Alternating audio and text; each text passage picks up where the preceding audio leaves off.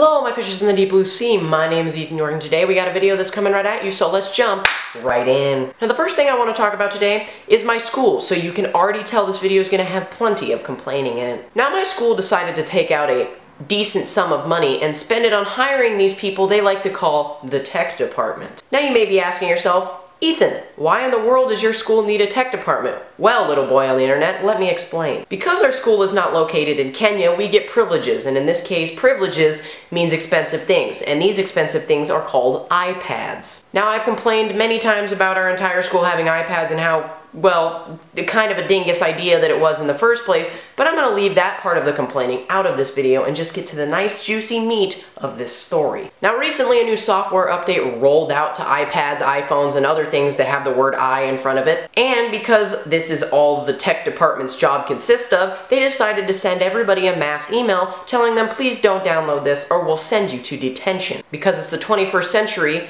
and now, going to detention means that you downloaded a software update, because that's the now new definition of bad boy. And once they decided for some reason that that was kind of a ridiculous thing to tell people, they sent out yet another mass email telling people that they were allowed to do it, but if they did do it, to make space, they can't delete any of the stuff the tech department put on your iPad because they don't have time to fix it. Now, let me just sit here and ponder this email for a second. Literally all the tech department has ever done for my school is send out mass emails and get people in trouble for broken iPads. Which part of that, exactly, takes up their whole day to where they don't have time to plug in an iPad and put an app on it. Now, me being a high school student, I have sent plenty of emails most of them containing homework to ladies that I'm never ever going to smash. But regardless, it takes me about three seconds to send like six emails. How hard can it be to send one email to like I don't know, 400 people, that does not take up your whole day. These people are pay like one time I literally, I had to go into the tech office for some strange reason. I hate relying on them, but somebody was like, hey, you have to go there. So I was like, sure, why not? First off, I roll in the tech office. The two tech people that are in there, one is eating tater tots, which, by the way, she came through in the clutch because she gave me her tater tots. But the other one, I told her,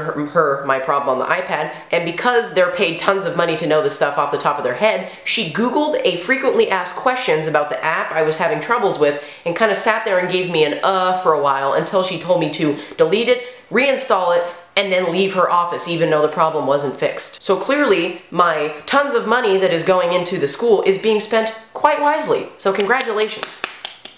Now the next thing I want to talk about today is a friend who recently came through in the clutch by giving me an item that is like the most nostalgic thing you can ever ask for. So recently, his mom was just digging through his garage, minding her own business, when she discovered a box with a title Heelys on it. And he's like, oh snap. He's like, they're really uncomfortable, so I don't really want them. I put my foot in it, and just like Cinderella, it fit perfectly. So he gave me freaking Heelys. Now, I understand that I am 16 years old, and I probably shouldn't be, be enjoying rolling around on what is basically a rollerblade all day long. But dude, the frick, man. Those things are so baller, but they even, they get me more ladies than anything else that I've ever done in my entire life has gotten me. We had some fundraising event at our school because in case you couldn't tell, my school definitely doesn't have enough money. And I was like, okay, it's a screw around day. These are probably not allowed in the dress code, but let me wear them anyway because they're probably not going to send me home on a three hour school day. I got so many compliments, it was like my ego was just about to explode. And this really hot lady who to be completely honest, I wasn't exactly sure knew I existed,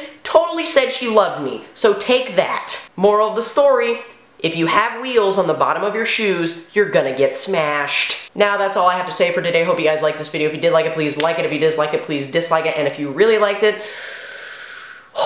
add it to your favorites. I will see you guys some other time.